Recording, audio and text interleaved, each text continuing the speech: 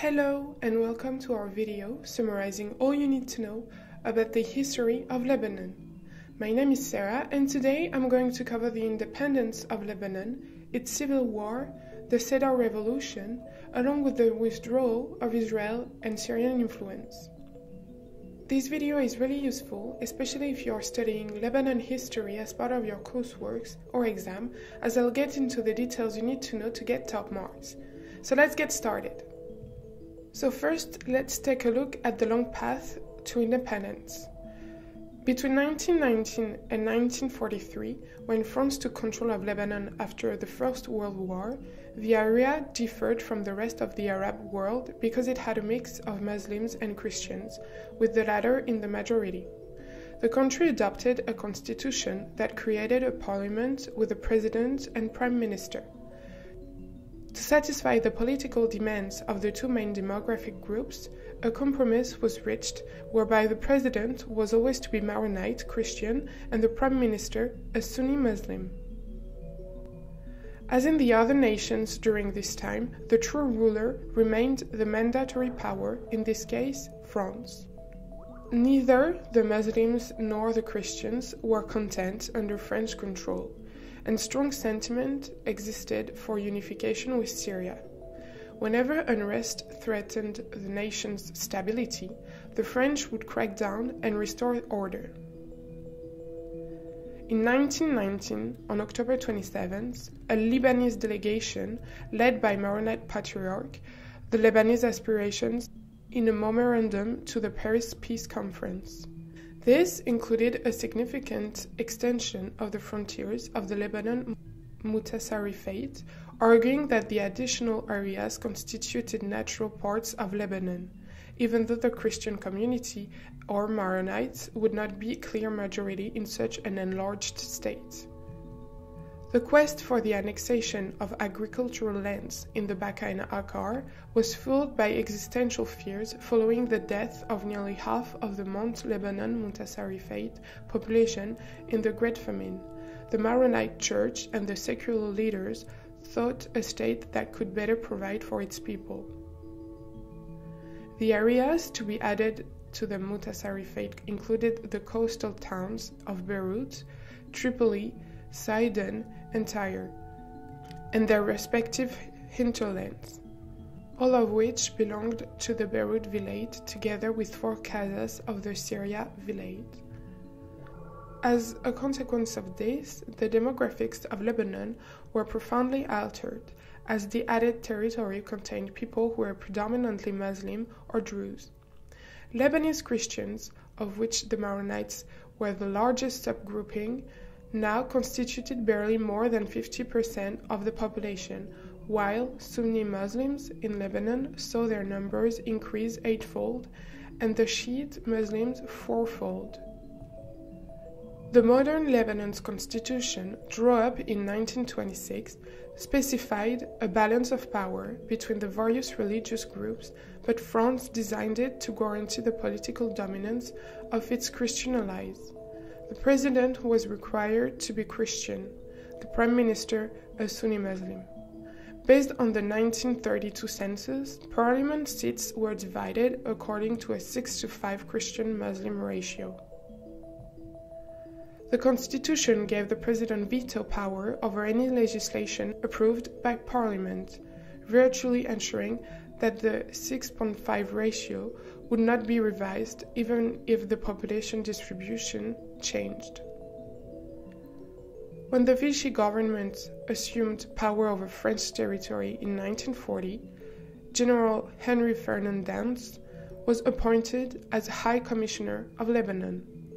This new turning point led to the resignation of Lebanese President Émile Eddé on April 4, 1941. After five days, Dentz appointed Alfred Nakache for a presidency period that lasted only three months. The Vichy authorities allowed Nazi Germany to move aircraft and supplies through Syria to Iraq, where they were issued against British forces. Britain, fearing that Nazi Germany would gain full control of Lebanon and Syria by pressure on the weak Vichy government, sent its army into Syria and Lebanon. After the fighting ended in Lebanon, General Charles de Gaulle visited the area.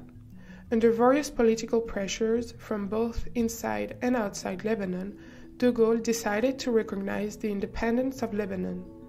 On November 26, 1941, General Georges Catroux announced that Lebanon would become independent under the authority of the Free French government. In 1943, a Lebanese flag was drawn and approved by the members of the Lebanese parliament during the Declaration of Independence. Elections were held in 43, and on November 43, the new Lebanese government unilaterally abolished the mandate. The French reacted by throwing the new government into prison. In the face of international pressure, the French released the government officials on November 22, 1943, and accepted the independence of Lebanon. Although France lost its privileged position, Lebanon remained especially close to the West and was particularly interested in maintaining good relations with the United States. This goal was complicated by American support for partition which the Lebanese opposed both rhetorically and militarily. The history of Lebanon since independence has been marked by interchanging durations of political stability and mayhem combined with prosperity founded on Beirut's location at the regional center for trade and finance. In 1948, a wave of Palestinian refugees come to Lebanon following the Arab-Israeli War and the establishment of Israel, increasing Lebanon's population by over thousands. The influx of migrants into Lebanon further complicated its religious divides. In 1958, during the last months of President Camille Chamoun's term, an insurrection broke out, and 5,000 United States Marines were briefly dispatched to Beirut on July 15th in response to an appeal by the government. After the crisis, a new government was formed, led by the popular former general Fouad Shihab. During the early to mid 60s, Lebanon enjoyed a period of relative calm, with Beirut focused tourism and banking sector driven prosperity. Lebanon reached the peak of its economic success in the mid 60s. The country was a bastion of economic strength by the oil rich Persian Gulf Arab states, whose funds made Lebanon one of the world's fastest growing economies. This period of economic stability and prosperity was brought to an abrupt halt with the collapse of Youssef Beida's Central Bank, the country's largest bank and financial backbone, in 66. In 67, a second wave of Palestinians come to Lebanon after the outbreak of the Six Day War. Yasser Arafat's Palestinian Liberation Organization uses the country as a base for attacks on Israel. A year later, in 68, Israel attacked Beirut airport destroying 13 Arab airliners in retaliation for what it claimed was Lebanese support for Palestinian terrorists. Regular Israeli attacks on Lebanon continued for the next six years. Then, between 1975 and 1990, a civil war in Lebanon broke out. So, first of all, it was because of demographic tensions. In the two DC in the two decades leading up to the Civil War, Lebanon was threatened by tensions between Maronite Christians and Muslims. Structurally, Lebanon is a state composed of communities whereby one community can never dominate the rest. This balance of power forced into Lebanon democracy as the best solution between the different communities. Then, a class between communities. The class income distribution between the sexes was a key factor in the provocation of the Civil War. As Beirut became a prominent financial sector in the Middle East in the 60s, Lebanon witnessed class inequality on the rise among the different communities. This provoked the major Lebanese sect leaders to mobilize the masses against each other in class based conflict. To the Christians, Lebanese nationalism was strictly Lebanese and nothing else, whilst the Muslims regarded Lebanese nationalism as a complementary to Arab nationalism and did not mind having both. This would play a major role in the different factions who would ally with the Palestinians. These double standards of nationalism would threaten the Christian sense of Lebanese independence. During the 60s and 70s, the Palestinian Liberation Organization violated Lebanese sovereignty to attack Israel. Lebanese society is polarized as the Muslim mi- minority feels powerless and allies itself with more powerful Muslim forces such as the PLO and the Syrians. In April 1975, battles between the PLO and the Kataeb Christian militia spread to parts of Beirut, especially the downtown area, which is totally destroyed, leading to the demarcation line between the two parts of the city. Many militias are formed on both sides, and hundreds of civilians are killed or taken hostage. The government divides and the army is split. The militias usurp many functions of the state. On January 76, the Karantina and Damour massacres take place. In May 76, Elias Sarkis is elected president of Lebanon. The Tel al Zaatar massacre occurs, the Syrian army intervenes for the first time. On October 76, an Arab League commits an Arab League com- an Arab League summit occurs to instill a ceasefire backed by the deployment of peacekeeping troops. Between February and March 78, the Hundred Days War begins and the ceasefire ends. The, Uni- the United Nations sends troops, and foreign powers deploy aid to the two sides of the war. On February 79, the Iranian Revolution occurs, helping to radicalize the Shiite movement in Lebanon. In July 19, Bashir Gemayel, leader of the Kataeb militia, unites all the Christian militias by force, putting in place the political party Lebanese Forces. Between July and September 82, the Lebanon War occurs as well as the siege of Beirut. Bashir Gemayel is elected president on the 23rd of August and assassinated on the 14th of September. Soon after the Sabra and Shatila massacre occurs.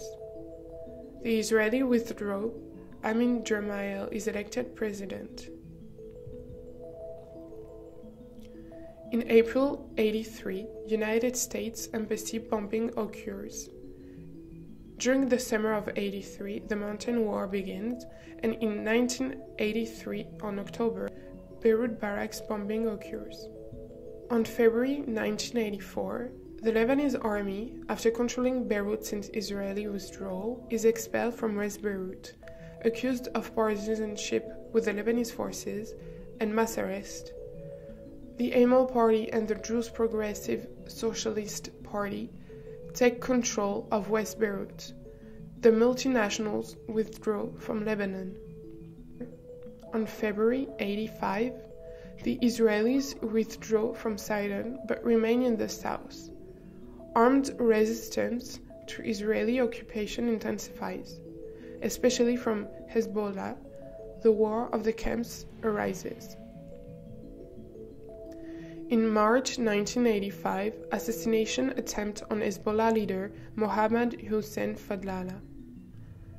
Between June and December 87, Rashid Karami is assassinated on June 1, 1987. The first intifada begins and the anger towards Israel and in Lebanon increases. There are hundreds of Lebanese and Palestinians imprisoned by Israel.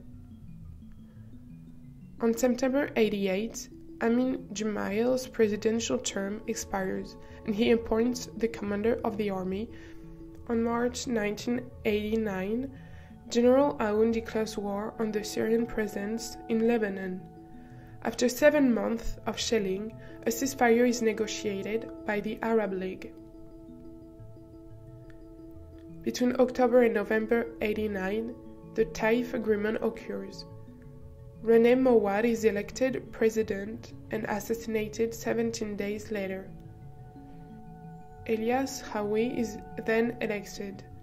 General Aoun denounces the legitimacy of these presidencies and a new commander of the army is appointed. In January 1990, heavy fighting begins between the Lebanese army, still under General Aoun's control of the Lebanese forces, as well as fighting between Amal and Hezbollah, a continued resistance to Israeli occupation and Israeli reprisal raids. On October 90, General Aoun is forced out of the presidential palace and goes into exile.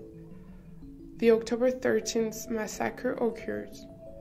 Selim Hoss assumes command of the country except for the part still occupied by Israel. The armed forces are reunited under a central command. On December 24, 1990, a national reconciliation is formed under the leadership of Omar Karami. For the first time, the Taif agreement is put into place.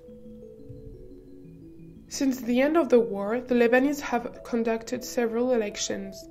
Most of the militias have been weakened or disbanded, and the Lebanese armed forces have extended central government authority over about two thirds of the country. It is estimated that around 150,000 people were killed and another 100,000 permanently handicapped by injuries. Approximately 900,000 people, representing one fifth of the pre war population, were displaced from their homes. Perhaps a quarter of a million emigrated permanently. Only Hezbollah retained its weapons and was supported by the Lebanese parliament in doing so, as they had defended Lebanon against the Israeli occupation. Syria, on the other hand, kept its military presence on most of Lebanon, also holding various government institutions in the country, strengthening its occupation. The social and political divisions that gave rise to and sustained the Lebanese civil war remain largely unresolved in its aftermath. Parliamentary and more recently municipal elections have been held with fewer irregularities and more popular participation than in the immediate aftermath of the conflict. And Lebanese civil society generally enjoys significantly more freedoms than elsewhere in the Arab world. However, there are continuing sectarian tensions and unease about Syrian and other external influences. So, between the year 2000 and 2005, there was the withdrawal of Israeli and Syrian influence. On May 25th, Israel completed its withdrawal from the south of Lebanon in accordance with the UN Security Council Resolution 425 a 50 square kilometer piece of mountain terrain, commonly referred to as the Shebaa Farms, remains under the control of Israel.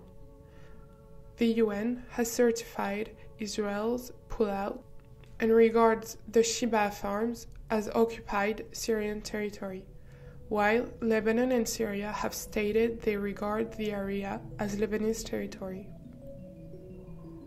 On September 3, 2004, the National Assembly voted to amend the constitution to allow the pro Syrian president Emil Lahoud three more years in office by extending a statute of limitations to nine years.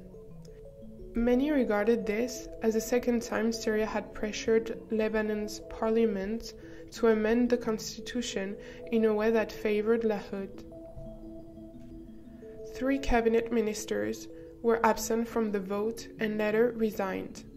The USA charged that Syria exercised pressure against the National Assembly to amend the constitution, and many of the Lebanese rejected it, saying that it was considered as contradictory to the constitution and its principles.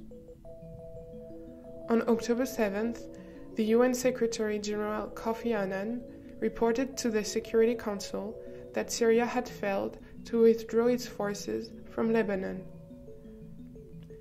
Mr. Annan concluded by stating that it is time, 14 years after the end of hostilities and four years after the Israeli withdrawal from Lebanon, for all parties concerned to set aside the remaining vestiges of the past. The withdrawal of foreign forces and the disbandment and disarmament of militias would finally end that sad chapter of Lebanese history. On October 19th, Following the UN Secretary General's report, the UN Security Council voted unanimously to put out a statement calling on Syria to pull its troops out of Lebanon, in accordance with Resolution 1559.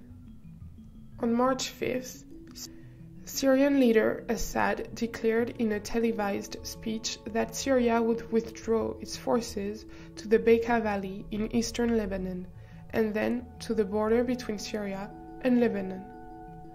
Assad did not provide a timetable for a complete withdrawal of Syrian forces from Lebanon, 14,000 soldiers and intelligence agents.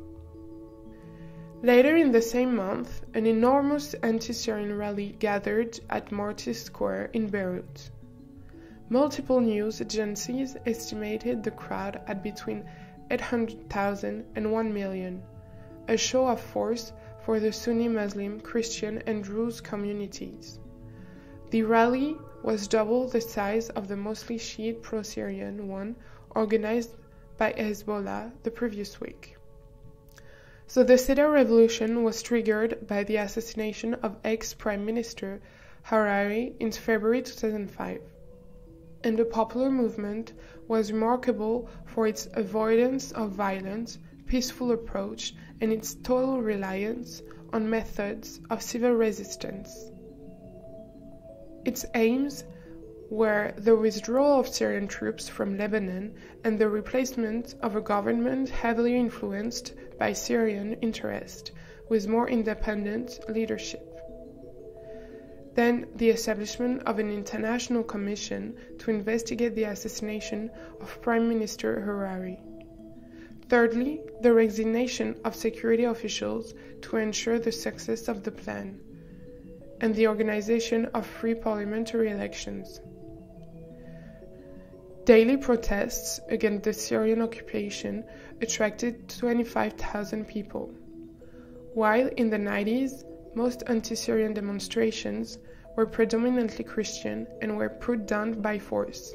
The new demonstrations were distinctly non-sectarian, meaning they were comprised of all elements of the Lebanese demographic, and the government did not respond with force or intimidation. On February 28th, the government of pro-Syrian Prime Minister Omar Karami resigned, calling for a new election to take place. Karami said in his announcement, I am keen the government will not be a hurdle in front of those who want the good for this country. The tens thousands gathered at Beirut's Martyrs Square cheered the announcement, then chanted, Karami has fallen, your turn will come, Lahoud, and yours, Bashar. Opposition MPs were not satisfied with only Karami's resignation and kept pressing for full Syrian withdrawal. On March 23, Michel Abu Araj, the Lebanese magistrate responsible for the internal Lebanese investigation of the assassination, asked to be excused, citing a heavy court schedule. The Judicial Council of Lebanon was expected to rule on his request for the next day. His resignation and the consequent need to replace him raised the possibility of a delay in the investigation. On the anniversary of the ignition of the Lebanese civil war, the last remaining Syrian troops left Lebanon, ending their 30 year presence. During the Cedar Revolution, Hezbollah organized a series of pro Syrian rallies. He became part of the Lebanese government following the 2005 elections. On November 2005, Hezbollah launched an attack along the entire border with Israel, the heaviest in the five and a half years since Israel's withdrawal. The UN accused Hezbollah of initiating the hostilities with Israel. Israeli Prime Minister Ehud Olmert described the seizure of the soldiers as an act of war by the sovereign state of Lebanon, stating that Lebanon will hear the consequences of its actions, and promising a very painful and far reaching response. Israel blamed the Lebanese government for the raid, as it was carried out from Lebanese territory. Hezbollah had two ministers serving in the Lebanese cabinet at the time. In response, the Lebanese Prime Minister Fouad Siniora denied any knowledge of the raid and stated that he did not condone it. An emergency meeting of the Lebanese government reaffirmed this position. During the war, the Lebanese armed forces did not engage in direct hostilities, but threatened retaliation if IDF troops pushed too far northward into Lebanon. In several instances, Lebanese troops fired anti aircraft weapons at Israeli aircraft and attempted to disrupt landing operations. On August 2006, the United Nations Security Council unanimously approved UN Security Council Resolution 1701 to end the hostilities. It was accepted by the Lebanese government and Hezbollah on the 12th of August 2006 and by the Israeli government the next day. The ceasefire took effect on the 14th. In 2012, the Syrian civil war threatened to spill over into the Lebanon due to the geopolitical links between the countries, leading to heightened sectarian violence in Lebanon that was akin to that of the Lebanese Civil War several decades earlier. As of the 6th of August 2013, more than 600,000 Syrian refugees are in Lebanon. As the number of Syrian refugees increases, the Lebanese Forces Party, the Kataib Party, and the Free Patriotic Movement fear the country's sectarian based political system is being undermined. So that's all for this video. If you found this useful, give it a thumbs up and do subscribe to our channel where we offer free materials that you can use as part of your studies. To really get a better grasp of specific areas you might find challenging. Make sure to visit our website where you'll find useful revision guides, model answers, and tools to get top marks. Thank you for listening!